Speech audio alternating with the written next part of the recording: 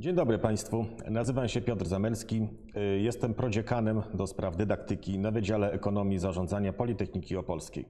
Chciałbym zaprosić na krótki spacer po naszym wydziale, w, w trakcie którego omówimy najważniejsze sprawy związane ze studiowaniem, sprawy, które na pewno są istotne dla każdego studenta pierwszego roku. Znajdujemy się w trzecim kampusie Politechniki Opolskiej przy ulicy Luboszyckiej. To jest nasz budynek Wydziału Ekonomii Zarządzania, widziany z lotu ptaka. Spośród y, najciekawszych miejsc y, naszego budynku można wskazać salę numer 7, gdzie studenci mogą y, spędzić wolny czas, przygotować się do zajęć, porozmawiać, pouczyć się. Y, Następnie y, wydziałową salę sądową. To jest y, pomieszczenie, którym akurat ja się opiekuję. Jest ono przeznaczone do odbywania zajęć z przedmiotów prawnych.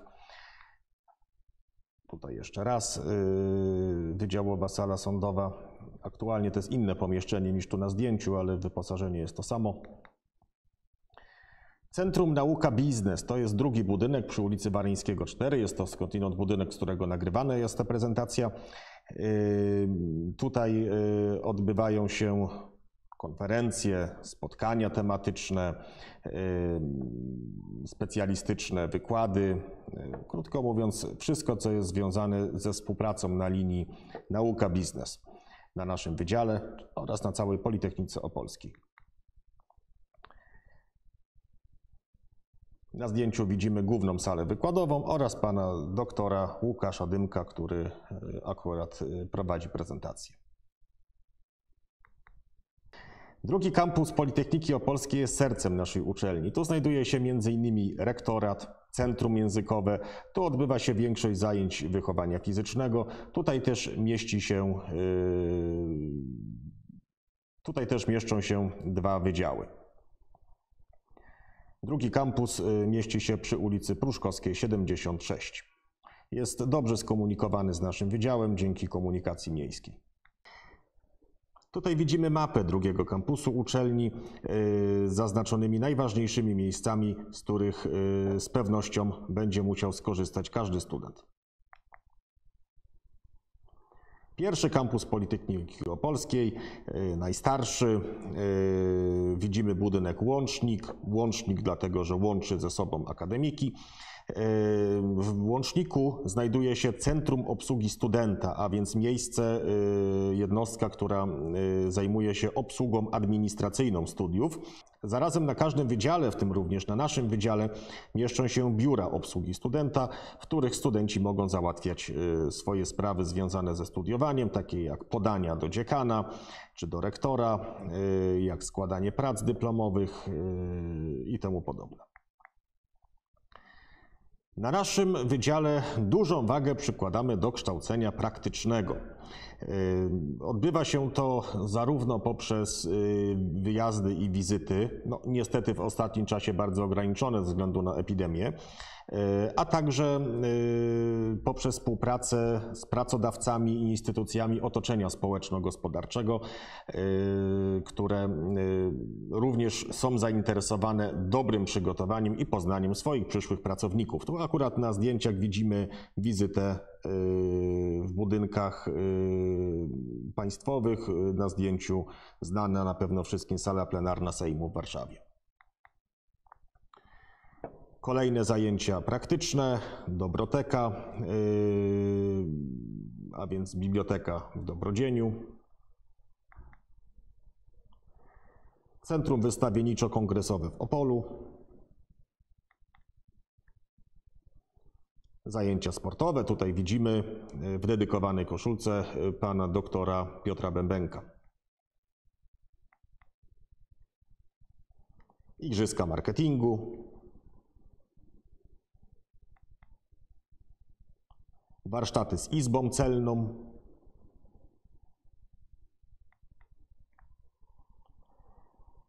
Udział w opracowaniu rankingu Złota Setka we współpracy z Nową Trybuną Opolską.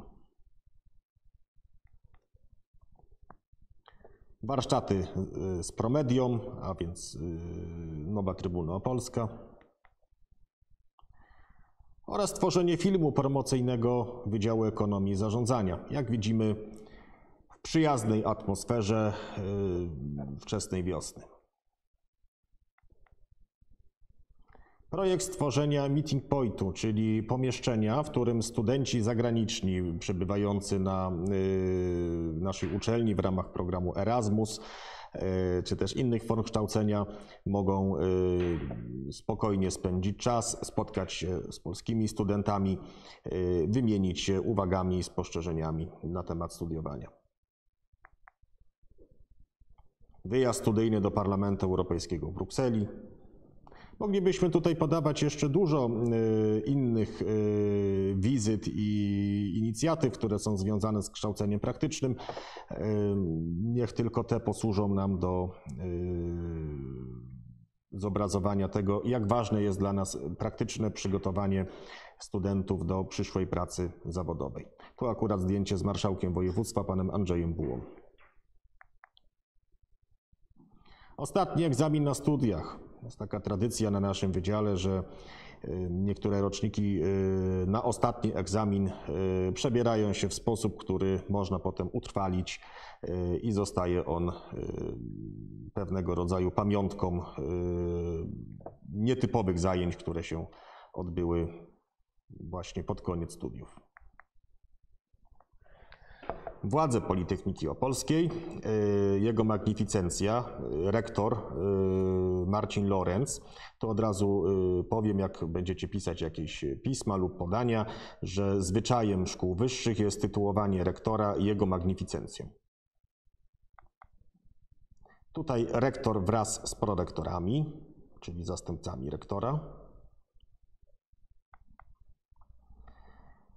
Politechnika Opolska składa się z sześciu wydziałów. My jesteśmy oczywiście na Wydziale Ekonomii i Zarządzania. Wydziałem kieruje dziekan. Y, Dziekanem jest y, pani doktor inżynier Marzena Szewczuk-Stępień. Dzień dobry. Witam Was bardzo serdecznie. Nazywam się Marzena Szewczuk-Stępień i jestem dziekanem Wydziału Ekonomii i Zarządzania Politechniki Opolskiej. 25 lat temu, tak jak Wy dzisiaj, po raz pierwszy przestąpiłam próg tej uczelni i zostałam jej studentem. Teraz jestem dziekanem Wydziału Ekonomii i Zarządzania, ale na zawsze pozostanę absolwentem wydziału, na który Wy również postanowiliście przyjść studiować. Nasz wydział jest y, wydziałem kameralnym. Na wydziale pracuje około 50 pracowników naukowych i 8 pracowników administracji wspierających naszą działalność.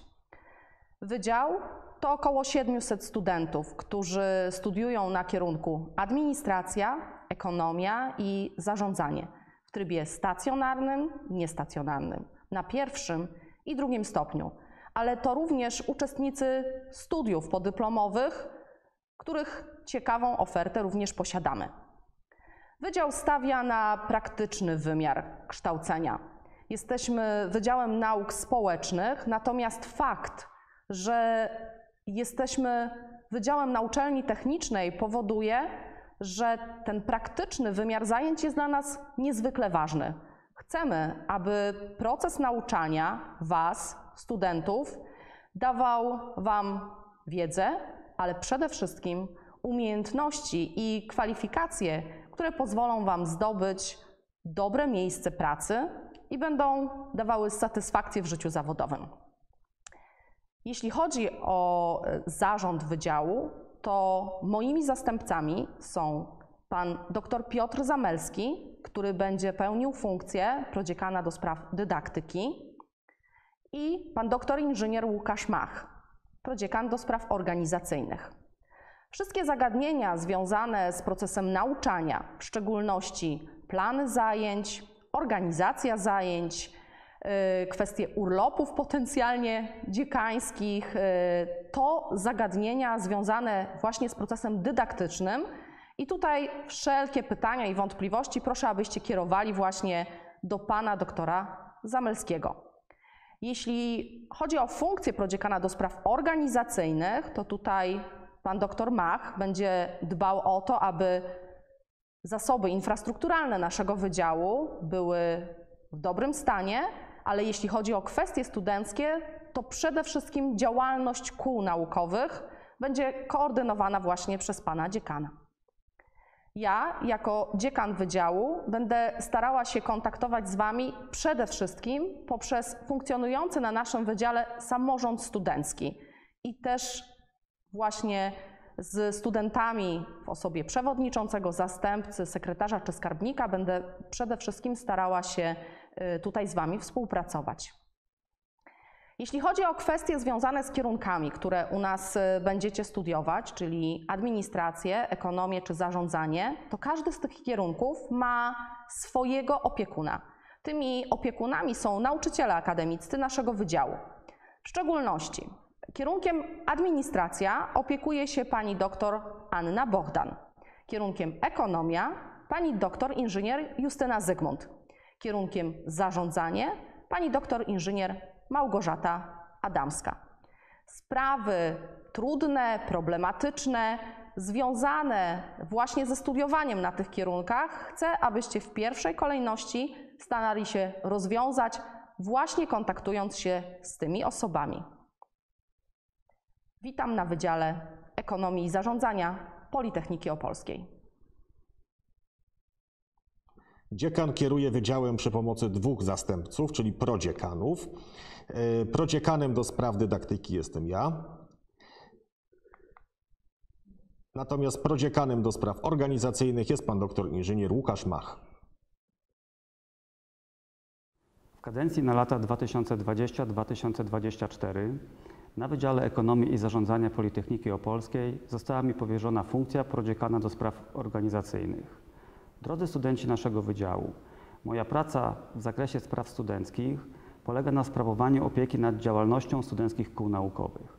Zapraszam więc Was do aktywnego uczestnictwa w życiu studenckim poprzez przynależność do jednego z naszych kół.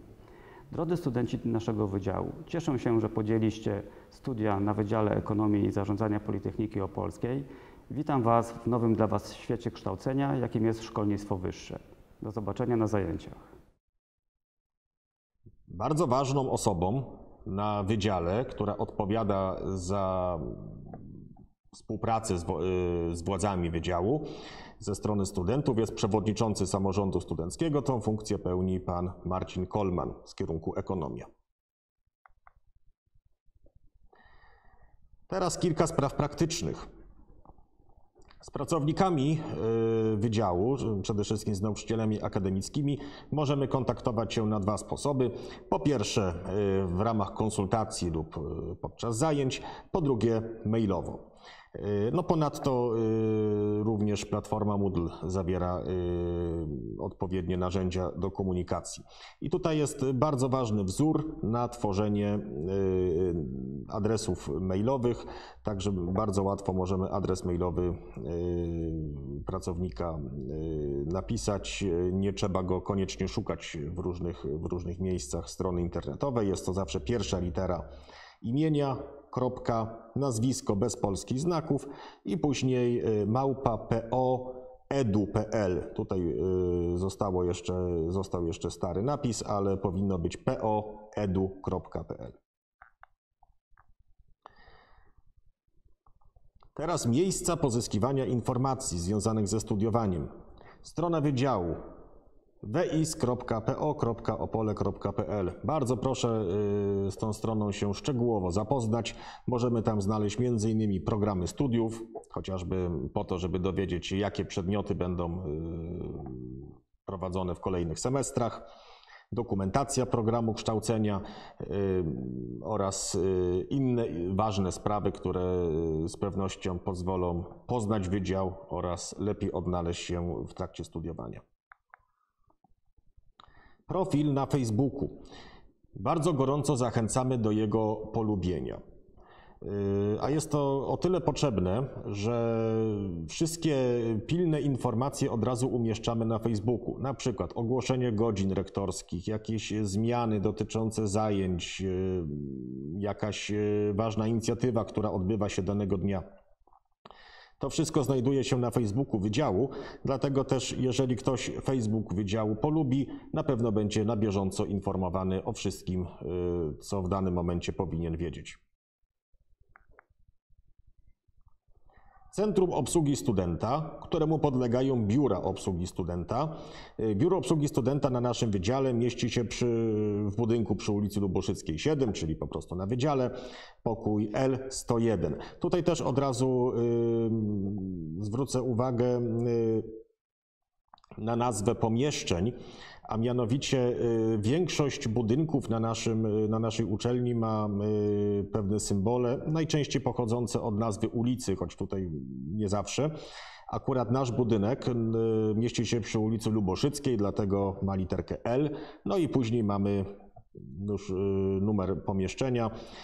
Pierwsze piętro ma pokoje zaczynające się na 100, drugie na y, 200, trzecie na 300. Ponadto bardzo gorąco zachęcam do odwiedzenia strony Centrum Obsługi Studenta. Centrum Obsługi Studenta to taki jeden wspólny dziekanat dla wszystkich wydziałów, gdzie studenci załatwiają swoje sprawy związane ze studiowaniem, składają wnioski, yy, mogą pobierać formularze, które są potrzebne itd. Yy, W tych, na stronie Centrum Obsługi Studenta również znajdują się informacje na temat odwołanych zajęć. Gdyby się zdarzyło na przykład, że któryś z pracowników by zachorował, czy musiał przełożyć zajęcia, to wszystko y, na centrum, y, na stronie COS-u w odpowiednim miejscu jest y, wyświetlane. Tutaj akurat widzimy stronę COS, czyli Centrum Obsługi Studenta. Tym niemniej no, każdy z Państwa powinien na spokojnie się z tą stroną zapoznać.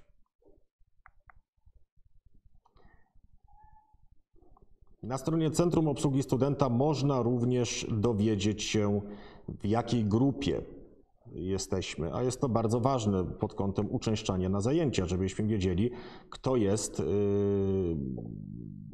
przypisany do jakiej grupy, a więc o której godzinie powinien znaleźć się w danej sali na zajęciach. Tutaj akurat jest y, przykład ekonomii, pierwszego roku ekonomii pierwszego stopnia. Widzimy numer albumu. Myślę, że każdy z Państwa swój numer albumu już zna. Ze względu na ochronę danych osobowych y, nie publikuje się w tej chwili pełnych list z imieniem i nazwiskiem. Po prostu po numerze albumu trzeba się wyszukać.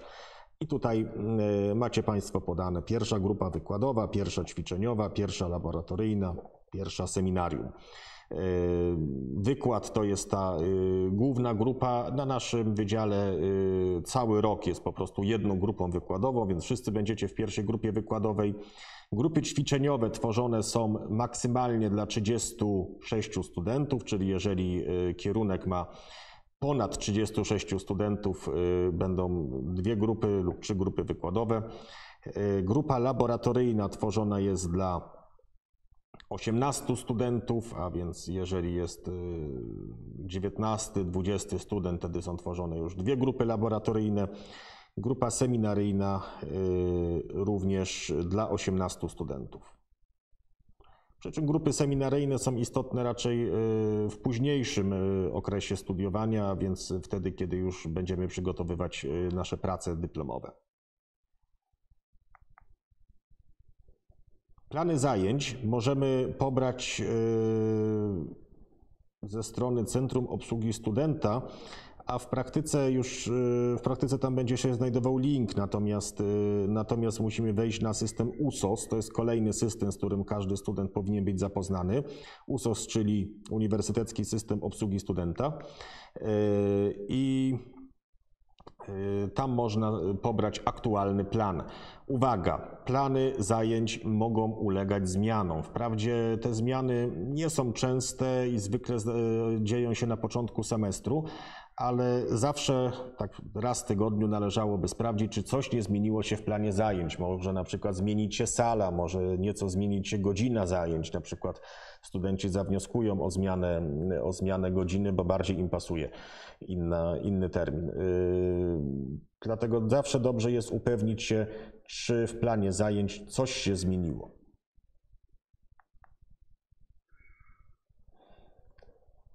UCOS jest to system obsługi administracyjnej, na którym oczywiście y, możemy sobie pobrać nasz plan zajęć.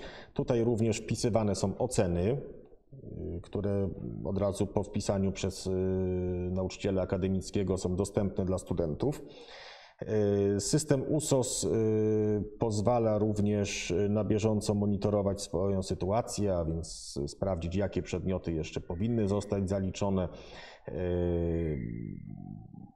jakie są zasady dotyczące zaliczeń poszczególnych przedmiotów. To też jest do zapoznania się dla każdego studenta pierwszego roku. Rok akademicki dzieli się na dwa semestry: semestr zimowy i letni. Każdy semestr trwa 15 tygodni. Zajęcia odbywają się zgodnie z opublikowanym przed rozpoczęciem semestru planem zajęć yy, z uwzględnieniem podziału na grupy, o którym już wspominałem, a więc grupy wykładowe, w ramach których odbywają się wykłady. No, jeżeli ktoś jeszcze nie studiował, no to pokrótce tylko powiem, wykład polega na tym, że wykładowca przedstawia materiał, a studenci słuchają i optymalnie jeszcze robią notatki. Oczywiście w trakcie wykładu też można zadawać pytania, ale y, nie jest sprawdzana wiedza ani przygotowanie do zajęć. Y, Obecność na wykładzie jest obowiązkowa, y, z tym y, zastrzeżeniem, że zgodnie z regulaminem studiów brak obecności na wykładzie nie może wpływać na ocenę. Tak więc może być na przykład premiowany y, udział studenta w wykładzie, natomiast nie może być obniżona ocena z powodu braku obecności. Ćwiczenia. Jest to forma zajęć najbardziej podobna do y, lekcji w szkole. Polega na tym, że studenci pracują pod okiem y, nauczyciela akademickiego, wykonują zadane im prace. Y, Może to być jakaś forma pisemna, może być to y, dyskusja, może być to y, praca, praca w grupach, może być to również forma prelekcji wykładowcy. Przy czym na naszym wydziale, tak jak już wspominałem, staramy się, aby zajęcia były w miarę możliwości prowadzone w sposób praktyczny. Laboratorium to mniejsza, y, to jest ta mniejsza grupa. Y, Przy czym y, w formie laboratorium odbywają się przede wszystkim zajęcia w salach komputerowych, a więc zajęcia, które wymagają używania komputera. Każdy z semestrów kończy się sesją egzaminacyjną. W, w czasie sesji nie ma już zajęć, są tylko egzaminy, przy czym egzaminy nie są przeprowadzane z każdego przedmiotu. Yy, Pod koniec semestru, ostatnie tygodnie semestru to czas zaliczeń, kiedy piszemy kolokwia zaliczeniowe, czyli takie sprawdziany yy, z poszczególnych przedmiotów. Oczywiście sposób zaliczenia danego przedmiotu jest yy, do sprawdzenia w sylabusie, który można sobie pobrać ze strony USOS. W sylabusie są omówione zagadnienia, jakie będą na danym przedmiocie wykładane oraz warunki zaliczenia tego przedmiotu. I kiedy student uzyska zaliczenie z danego przedmiotu, a jest jeszcze wymóg zdania egzaminu, wówczas sesji egzaminacyjnej podchodzi do egzaminu. Y, Liczba egzaminów, w zależności od rodzaju semestru, czy jest to semestr zimowy, czy letni, nie może przekraczać 4 lub 5.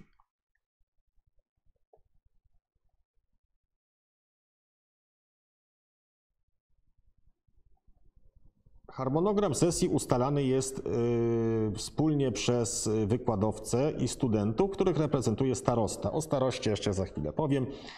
Y, Tak więc y, studenci wspólnie z wykładowcami ustalają, kiedy będą pisać egzamin. Następnie jest to zatwierdzane przez dziekana, w praktyce przez prodziekana do spraw dydaktycznych.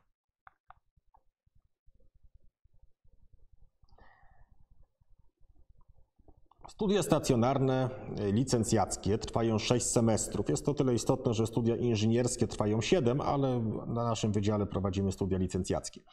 W każdym semestrze student zdobywa 30 punktów E ECTS. ECTS, czyli European Credit Transfer System, Europejski System Transferu Punktów Kredytowych, polega na tym, że y, do każdego przedmiotu przypisana jest pewna liczba punktów. Y, Jeżeli student zda dany przedmiot, nieważne na jaką ocenę, otrzymuje 100% punktów. Zasada jest taka, że każdy punkt ECTS, jeden punkt ECTS, powinien odpowiadać 25 do 30 godzinom pracy studenta. Jest tutaj liczona zarówno y, praca na zajęciach, A więc na przykład jeżeli jest y, przedmiot, który trwa y, 45 godzin w semestrze, 30 godzin wykładów i 15 ćwiczeń, no to już y, daje około 3 punktów ECTS.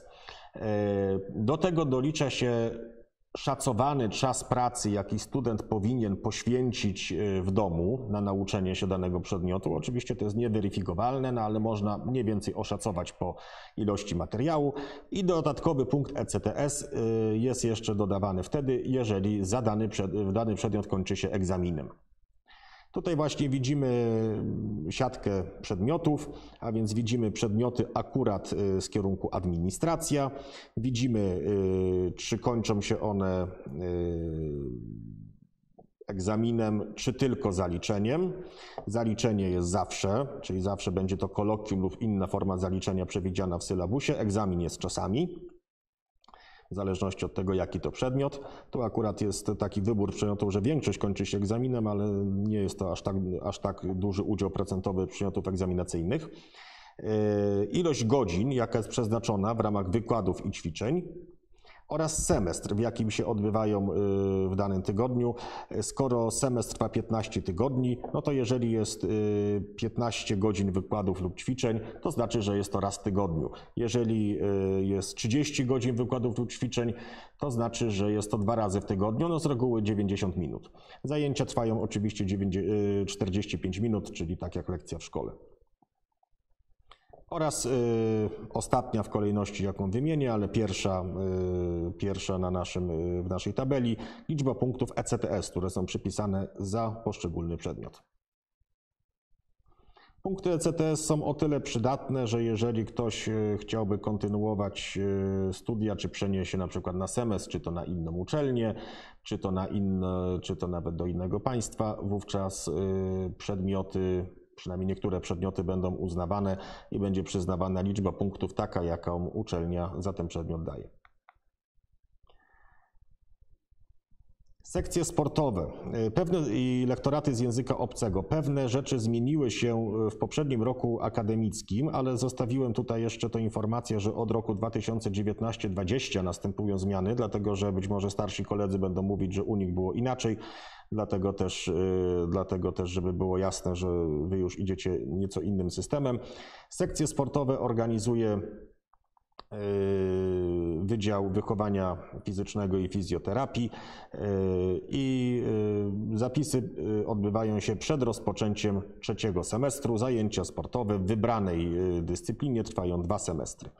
Lektoraty z języka obcego organizuje Centrum Językowe Politechniki Opolskiej. Zapisy przed rozpoczęciem drugiego semestru i lektoraty prowadzone są obecnie na semestrach drugim, trzecim, czwartym i piątym. Drugi semestr, czyli drugie półrocze pierwszego roku, trzeci semestr, czyli pierwsze półrocze drugiego roku, czwarty semestr, czyli drugie półrocze drugiego roku i tak dalej. Na każdym kierunku y, część przedmiotów ma charakter obieralny, czyli studenci wybierają przedmioty z listy dostępnych propozycji, y, które następnie mogą y, studiować, przy czym wybierane są one przez grupę studentów. Y, Wybór przedmiotów obieralnych w czwartym semestrze jest koordynowany przez Biuro Obsługi Studenta. Studenci administracji o profilu praktycznym i ekonomii pierwszego stopnia wybierają spośród dwóch pakietów przedmiotów obieralnych, decydując się równocześnie na jedną z dwóch specjalności. Na kierunku administracja może być to specjalność e-administracja lub administrowanie przedsiębiorstwem.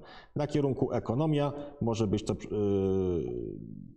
specjalność ekonomia i przedsiębiorczość oraz ekonomia i gospodarka finansowa. Aby dana specjalność mogła zostać uruchomiona, musi wybrać ją co najmniej 30 studentów. Sprawa, która y, studenta pierwszego roku jeszcze nie interesuje, ale dobrze posłuchać, że w pewnym momencie do Państwa również ona dotrze, a mianowicie zapisy do promotora, czyli nauczyciela akademickiego, pod którego kierunkiem będziecie przygotowywać pracę licencjacką, która będzie podstawą ukończenia przez Was studiów. Zapisy odbywają się w trzecim semestrze. Yy, Tematy prac dyplomowych są uzgadniane przez yy, wykładowców yy, z przedstawicielami otoczenia społeczno-gospodarczego, czyli z Waszymi potencjalnymi przyszłymi pracodawcami. Praca licencjacka musi być przygotowana e, wobec tego w czasie trzech ostatnich semestrów studiów, e, a następnie e, po zebraniu wszystkich egzaminów i zaliczeń z przedmiotów odbywa się egzamin dyplomowy. Praktyka.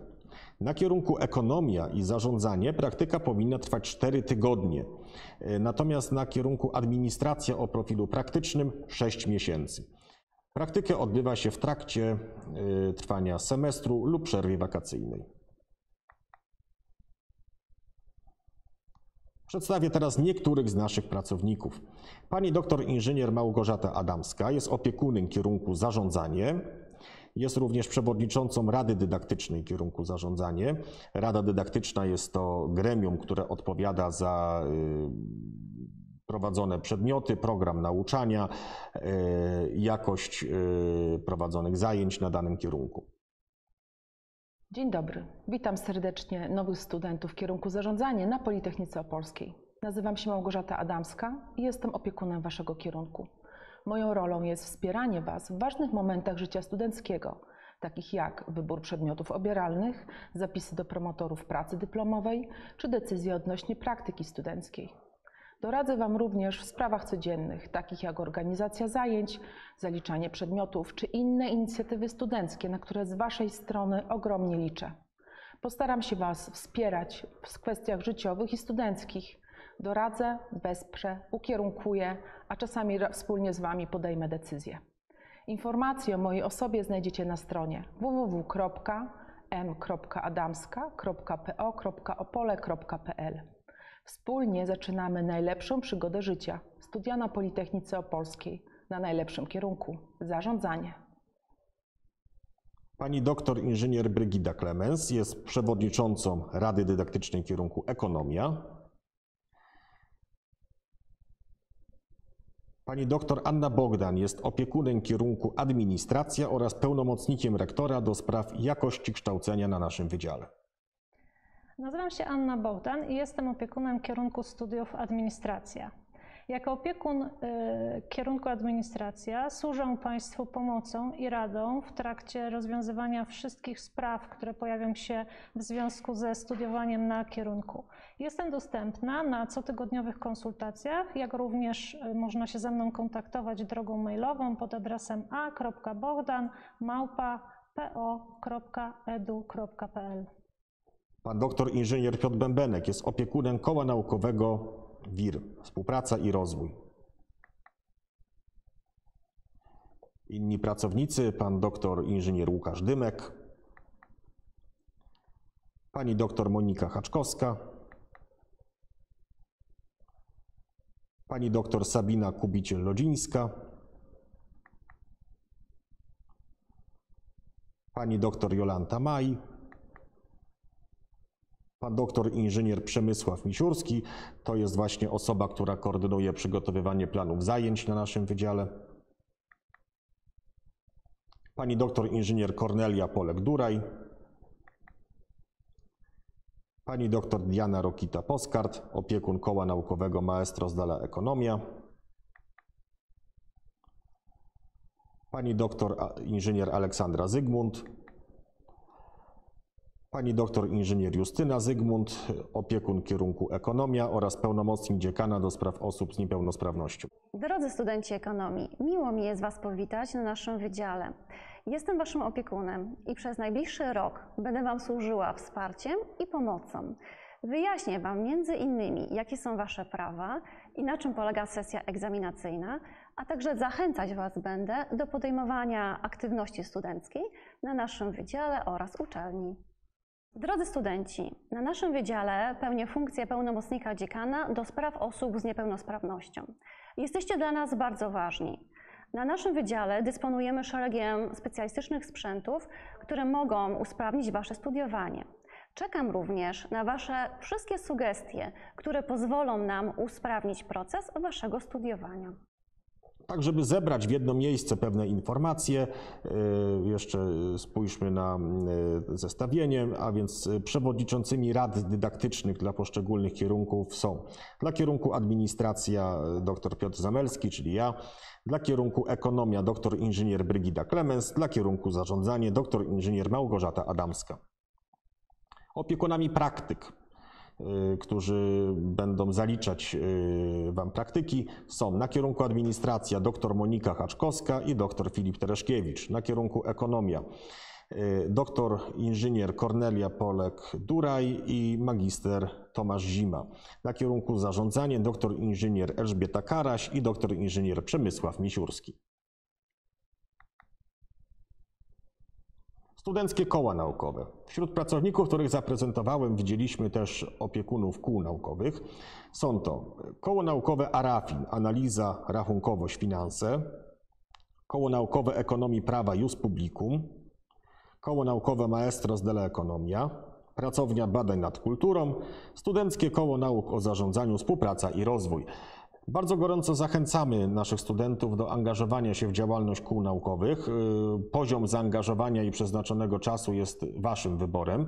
Natomiast y, jest to na pewno okazja, żeby podnieść zarówno swoją wiedzę, jak i umiejętności praktyczne, a tym samym y, szlifować swoje kompetencje pod kątem przyszłej pracy zawodowej.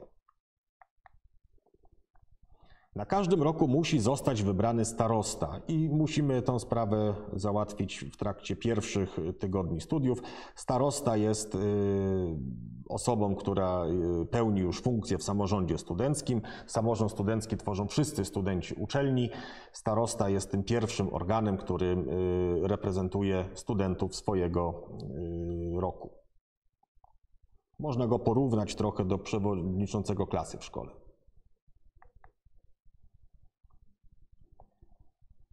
Tutaj y, fragment przewodnika Weź się nie zgub, tak możemy go przeczytać. Jest to przewodnik dla studentów Wydziału Ekonomii i Zarządzania Politechniki Opolskiej, gdzie można y, dowiedzieć się różnych praktycznych rzeczy dotyczących y, studiowania na naszym wydziale.